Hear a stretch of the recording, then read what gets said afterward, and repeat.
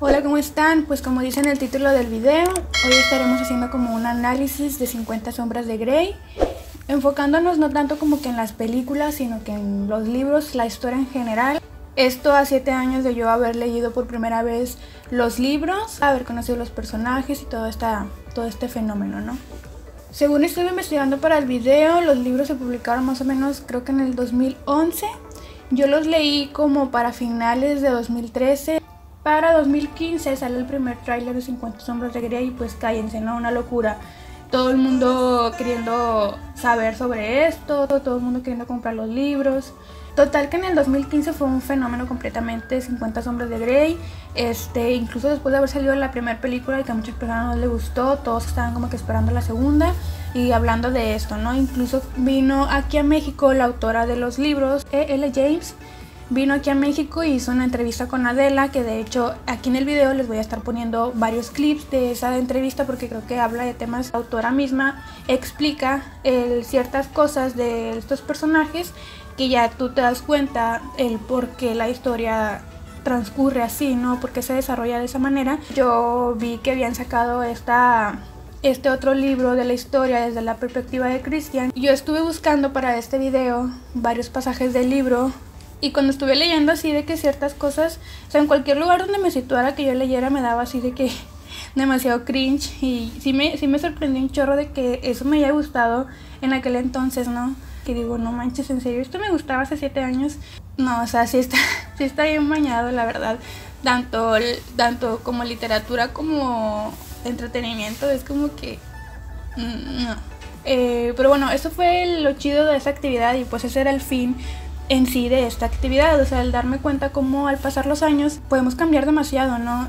Y es que una de las cosas que notas cuando, cuando empiezas como que a conocer y a entender todo esto de la teoría feminista y de, de, del feminismo en sí, es que ya no puedes ver las cosas de la misma manera y lo, en lo primero que te das cuenta es en las series, en las películas, en las novelas que, antes te gustaban y que ahora dices, no manches, en serio, o sea, ¿por qué dice eso? O luego, luego ves como que los, los micromachismos o los criptomachismos o obviamente los machismos explícitos, ¿no? De la misoginia, de las frases, de, de, los actos. Entonces ya no puedes como que disfrutar igual las cosas. O sea, sí hay ahorita muchas cosas que se están haciendo con perspectiva de género, pero pues también es importante como que analizar estas cosas que veíamos antes, ¿no? Y, y, más que nada cómo hemos cambiado a través del tiempo y que está chido, está chido cambiar y, y, no tiene nada de malo y tampoco tiene nada de malo que en un tiempo determinado de tu vida te haya gustado esto, porque realmente es, así es, o sea, uno no nace aprendiendo y parte del feminismo es esto, no es desaprender. Entonces, pues nada, o sea, para no hacer más largo este video, quiero empezar el video, el análisis o como le quieran llamar, la reflexión o, o, pues mi opinión. Quiero poner un poquito como que en contexto quiénes son los protagonistas de esta historia, ¿no? Tenemos por un lado a Christian Grey, que es un hombre de 27 años, que a su corta edad ha amasado o ha construido un imperio multimillonario que entre otras cosas pues se dedica a las telecomunicaciones y creo que en alguna parte, no sé si de la película, del libro o si me lo estoy inventando, pero creo que también menciona que se dedica a comprar empresas que están a punto de quebrar y pues él las potencia, ¿no? Eh, y entre eso pues se dedica a muchas cosas, filantropía, etcétera, eh, nuevas tecnologías. En cuanto a su personalidad, pues narran o describen un poco que es una persona como que muy muy estricta, muy puntual, muy que le gusta tener todo como que limpio, bajo control y, y, y este tipo de cosas, ¿no? Y bueno, por otro lado tenemos a Anastasia Steele, que es la protagonista femenina en esta historia. Y ella pues es una chica creo que de 23 años, no estoy muy segura, pero lo voy a corroborar, este, que está a punto de terminar la universidad, específicamente la carrera de literatura inglesa. La describen como una chica sencilla, de nivel socioeconómico bajo, que conduce pues una carcacha o un clásico como le dice ella. Tiene un trabajo a medio tiempo en una ferretería y además que tiene problemas de autoestima, no se siente como que muy a gusto con su físico. Por lo mismo es torpe, tímida, introvertida y una cosa muy importante es que tiene el tic de morderse el labio, que al parecer esto es como que algo fundamental para la, para la trama porque lo repiten y lo repiten y lo repiten y lo repiten. Oigan, pues yo ya fui por mi café porque esto, esto va para largo. Y bueno, ¿cuáles fueron las razones por las que esta relación se dio, no? ¿Por qué ellos se atrajeron? ¿Por qué se gustaron, no? Es, yo creo que ahí está como que el medio del asunto de todo esto y las respuestas, ¿no? A preguntas futuras de las situaciones que se dan a lo largo de la, de la trama. Entonces, tenemos por una parte a Christian, ¿no? que lo vemos en esta entrevista que le hace Anastasia para el diario escolar porque Kate estaba enferma. Tanto en los libros como en las películas se, se expone o se describe a un Christian como enojado, como exasperado, desesperado por la torpeza de Ana, ¿no? Cuando ella llega y se cae y luego cuando trata de acomodar la grabadora esa con la que le iba a, hacer la, le iba a grabar las preguntas y todo esto le causa a él mucha desesperación, su falta de eficiencia, ¿no? Después cuando empieza a transcurrir la entrevista se da cuenta que Ana es muy introvertida, que es muy tímida, que es muy sumisa y le empieza, se empieza a sentir como que excitado, atraído hacia ella, ¿no? Así de una manera muy intensa. Está bien. Quisiera saber más de usted. Creo que no hay mucho que saber sobre mí. Entonces, ¿qué narrativa nos da esto, no? Sino la de que la chica, pues, ah, es una chica torpe, como que no sabe llevar bien una conversación, una entrevista, pero es bonita, es dulce, es tierna, es tímida, ¿no? Y es como que, ay, no, la deseo, ¿no? Y ese es el problema en realidad, que te quieran vender la idea de que ese es el estereotipo de mujer que le puede llegar a gustar o que desean los hombres, ¿no? Sobre todo estos hombres guapos y exitosos, ¿no? Obviamente pues esta película se, se filmó, esta historia salió en 2011, 2015 después la película y aún así en aquel entonces yo siento que ya estaba como que un poco desgastado esto, ¿no? Como que ya era momento de cambiarle, pero bueno, todavía les funcionó.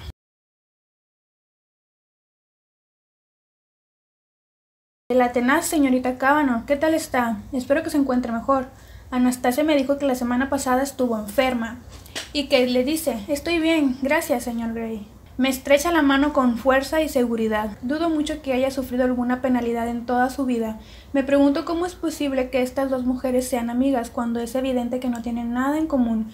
Y esto es súper importante porque la autora está consciente de que la, la, la, personalidad de Anastasia, o sea, esta timidez, esta, esto de ser introvertida, viene de unas inseguridades provocadas por ya sea el nivel socioeconómico, las carencias económicas o las carencias emocionales que una persona puede tener en su vida, ¿no? Porque las personas no nacemos así como que con una personalidad dada, ¿no? Por naturaleza, sino que la personalidad es completamente social y es algo que se desarrolla a través de nuestras experiencias. Es algo importante mencionar, ¿no? Que no tiene nada de malo que las chicas sean introvertidas o sean eh, tímidas, pero sí es importante como que decir, bueno, pero ¿por qué? ¿Por qué somos así o por qué son así, ¿no?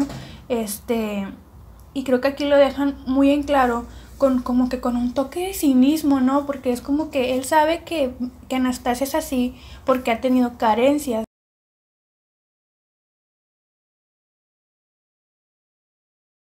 Cosa que Kate no.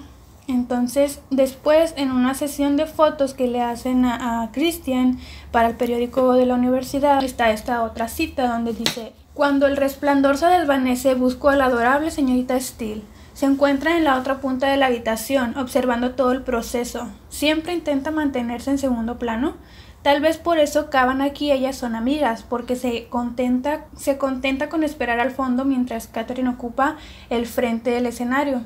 Mmm, sumisa por naturaleza. Y aquí es como que lo que me molesta, ¿no? Ese cinismo de, de la narrativa en donde por una parte a él se nota esa, ese disgusto, esa no disgusto, pero sí como que apatía, ¿no? A, a, la persona que es Kate por ser una persona segura de sí misma, al tono que utiliza en esta otra captura, en esta otra, en este otro pasaje, en donde describe a Anastasia como sumisa, ¿no? Como alguien que le gusta ser invisible, que le gusta no acaparar la, la vista, y eso le atrae, ¿no? Eso le gusta, y es como que, ok, por otra parte tenemos otra de las razones por las que a Christian le gusta Anastasia, pues está esta razón que está como que un poco eh, intensa, ¿no? De este asunto de que le gustan o le atraen las mujeres que se parecen físicamente a su madre, ¿no? Y, y, toda esta cuestión de sus prácticas sexuales, que del sadomasoquismo y todo eso, que no son otra cosa sino que una manera de él de castigar a su madre a través de sus compañeras sexuales. Siento que aquí lo importante es que se romantizó demasiado esta situación cuando creo que era la situación más importante de la historia en donde él tiene realmente un trastorno, una enfermedad mental complicada y preocupante y sobre todo pues difícil, ¿no? Porque todo esto, todos estos traumas que él tiene desde la infancia lo han hecho ser una persona que no puede relacionarse, no puede crear vínculos con los demás y su única forma de, de sentirse bien o de aliviarse cuando está enojado o frustrado es este infringiendo dolor, ¿no? Y yo no quiero meterme mucho como que en los temas del sadomasoquismo porque la verdad ni los ni los conozco ni me metí a investigar ni nunca me ha dado como que curiosidad eso, pero siento que en muchas partes vi que dijeron que esto no tenía como que mucho que ver con el sadomasoquismo, lo que él hacía, porque una cosa es lo que se hace como que en alcoba y otra cosa es llevar eso a tu vida cotidiana, ¿no? Y eso era lo que él hacía constantemente. Hasta en el contrato ese que tenían que tenía que firmar Anastasia, o sea, él se metía hasta con lo que ella tenía que comer, entonces es como ya es otra cosa que no es mm, meramente sexual, ¿no? Su manía por tener el control y todo esto y el hecho de que a él le atraigan las mujeres inseguras, ¿no? No hablo de otra cosa más que de un hombre inseguro. Bueno, el tema de su enfermedad mental siento que era un punto importante que tenía que tocar porque también es algo que se romantizó demasiado, ¿no? Como esta cuestión de, que Ana con su amor y su, y, su ternura y, y, su dulzura lo iba a curar, ¿no? Y para hacer los ajustes en los libros, en el libro de Grey, sí hablan sobre de que Christian toma terapia a raíz de que, de que Ana lo deja. El problema es que en las películas no lo muestran. En las películas solamente te dicen como que ya, él cambió por obra del amor, ¿no? Y las cosas no son así, las enfermedades mentales son algo complicado, algo difícil. O sea, es algo tanto fisiológico como social, todo lo que engloban las enfermedades mentales. Es muy complejo, es muy complicado y es un proceso inmensamente largo sobre todo para alguien como Cristian y los problemas que tenía, ¿estamos de acuerdo? Entonces no hay que tomar a la ligera esto, ¿no? No, no, no con que veas una película, con que veas un video, con que leas un artículo, con que veas algo en Facebook, quiere decir que tú ya eres experto en eh, psiquiatra, ¿no? O sea, tú puedes diagnosticar y tú puedes curar, ¿no? No es así. Y bueno, pasamos pues a las razones por las que a Anastasia le gustó Cristian, ¿no? Esta otra contraparte. En primera, pues no podemos dejar de mencionar que la verdad lo primero que la atrajo de Christian fue su atractivo físico, ¿no? Ella cuando se atropieza en la oficina, ella se imaginaba una persona mucho mayor y no, que es un hombre joven y muy, muy guapo, se siente pues atraída instantáneamente hacia él. Siento que también ahí como que fue una cosa un poco incoherente con la trama porque Ana más adelante menciona que ella pues no se ha fijado como que en hombres porque pues no había llegado el, el hombre indicado. Has hecho otras cosas, ¿verdad?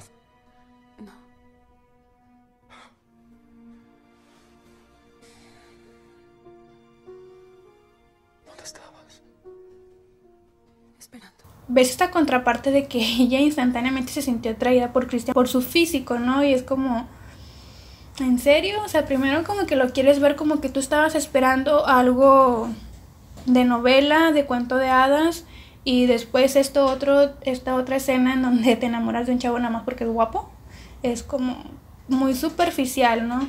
Otra de las cosas también que por las que yo siento que Ana se clavó mucho con Cristian, ¿no? Siento que fue todo este ambiente de lujos, de poder, de dinero que envolvía a Cristian, ¿no? Porque es que en cada escena nos repiten y nos repiten y nos repiten todos estos lujos que tiene Cristian, ¿no? Y es como, ok, entonces, ¿estoy tratando de comprarme? ¿O qué está pasando aquí?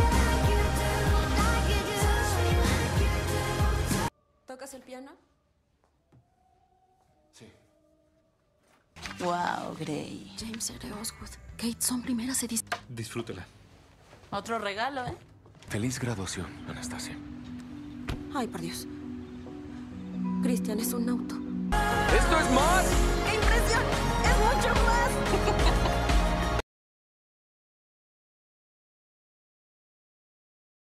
Porque es que de hecho ella ni lo conocía. Cuando ella ya estaba súper clavada y enganchada con él. Realmente no tenía mucho de conocerlo, tenía yo creo que un mes, a lo mucho dos meses, cuando ella estaba súper enamorada de él, ¿no? Y es como, ¿cómo te enamoras de alguien que no conoces, ¿no? Te enamoras entonces de una idea. ¿Y esa idea cuál es? Pues la que te están mostrando, que es un hombre, ¿qué? ¿Rico? porque él no hablaba de otra cosa, no hablaba de su familia, no hablaba de sus otros gustos, no hablaba de su trabajo, solamente hablaba del sexo y de sus lujos, ¿no? Las cosas que le regalaba a Ana, eh, los viajes. No sé, siento como que Kristen se quiso sacar toda su artillería para convencerla de ser su sumisa y pues al final de cuentas lo logró. Al principio como que Ana se resistía un poco por esta cuestión de que ella realmente nunca quiso serlo, pero quería estar con él, ¿no? Entonces, pues fue coaccionada de alguna manera o de muchísimas maneras para acceder a esto. Ahora, este es el, tercer punto y creo que es uno de los más importantes y es que Ana estudió literatura inglesa. ¿Literatura inglesa es lo que estudié? Dígame, ¿fue Charlotte Bronte? Jane Austen o Thomas Hardy quien hizo que se enamorara de la literatura? Hardy. Hubiera creído que Jane Austen. ¿Esto qué implica en la vida de Ana? Yo investigué tantito y bueno, en una página nos dice que eh, cuáles son las características de la literatura inglesa. Eh, derrotar al monstruo, pasar de la pobreza a la riqueza, conseguir el éxito, emprender el viaje y el regreso y el encuentro del hombre con la mujer, constituyen los, los principales pilares en los cuales se asienta la literatura inglesa. Siento que la autora de alguna manera nos quiere dejar en claro el por qué Anastasia es así, ¿no? El por qué es su personalidad y todo, todo esto que, que la rodea, ¿no? También menciona en el libro y en la película que su mamá es una romántica empedernida. Mi madre va en el esposo número 4. Es una romántica empedernida. ¿Y usted? Que sí soy romántica. Estudio literatura inglesa. Así que tengo que ser romántica.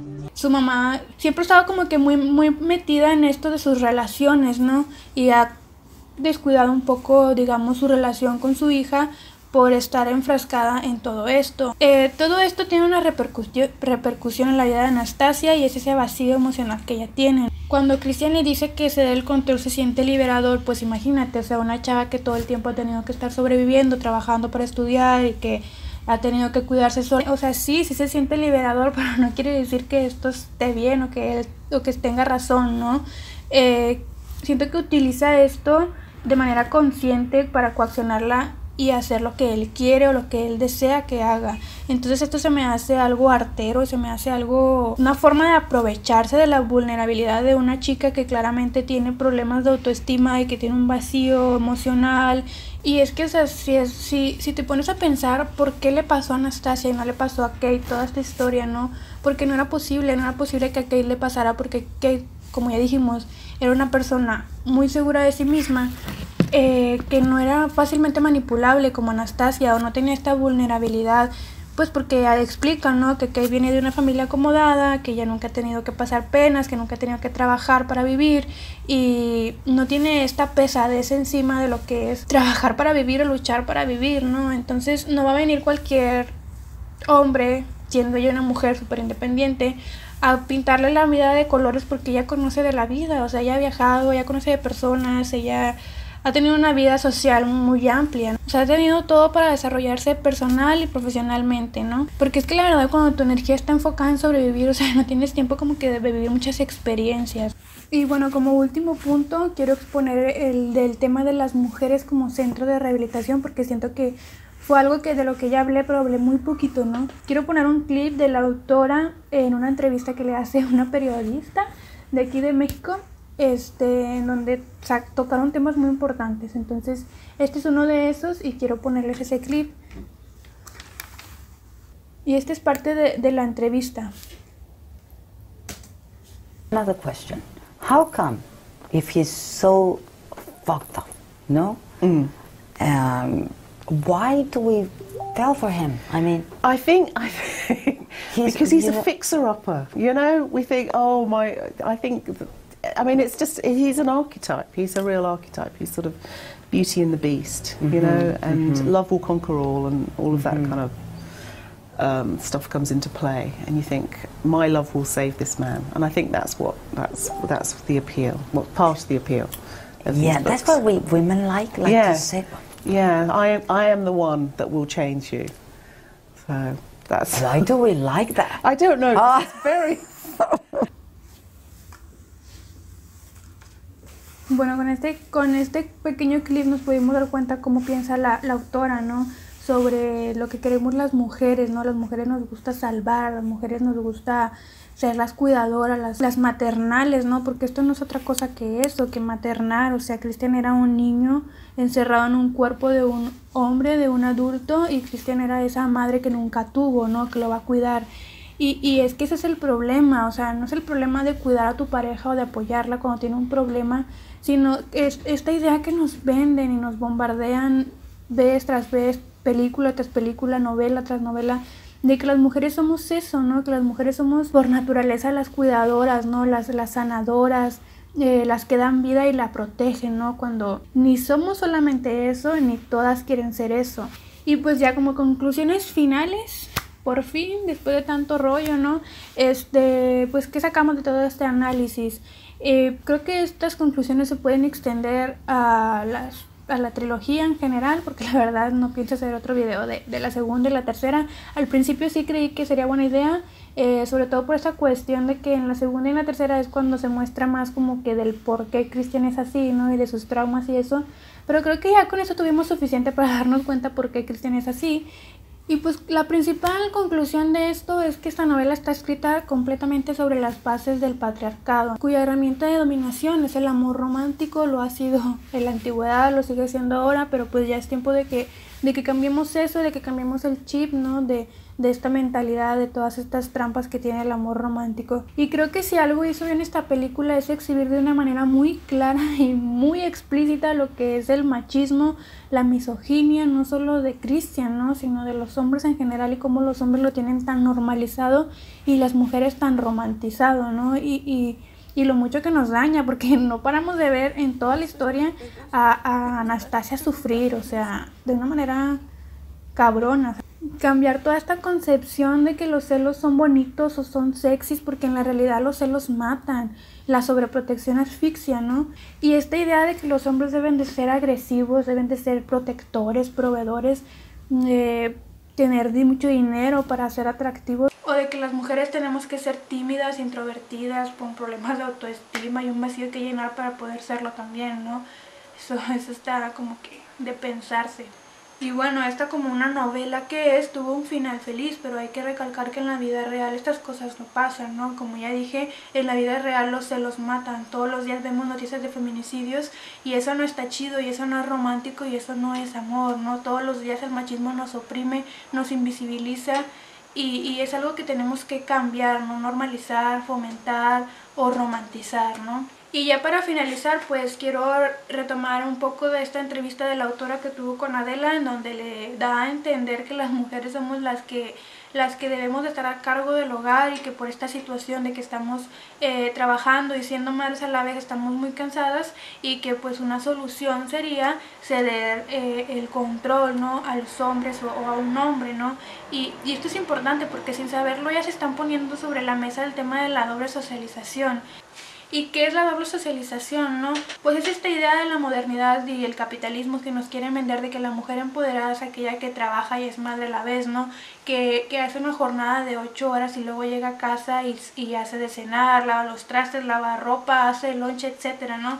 Esta idea de que la mujer nace por naturaleza con un superpoder que la hace tener la capacidad de hacer mil cosas a la vez y, y, que eso está chido, ¿no? Que eso es una mujer fregona, que es una mujer eh, empoderada, ¿no? Cuando no es otra cosa más que sobreexplotación y opresión. Pero en lugar de criticar esta situación, pues la autora nos da la solución de vendernos a un hombre, ¿no? Y así ya no tienes que pensar, ya no tienes que opinar, ya no tienes que tomar decisiones, ¿no? Ya tú, tú eres libre.